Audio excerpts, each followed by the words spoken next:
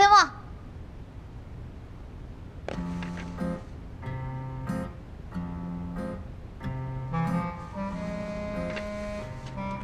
有事吗？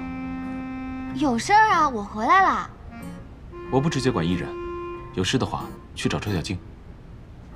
不是，我是还有事吗？没事就走。有事儿。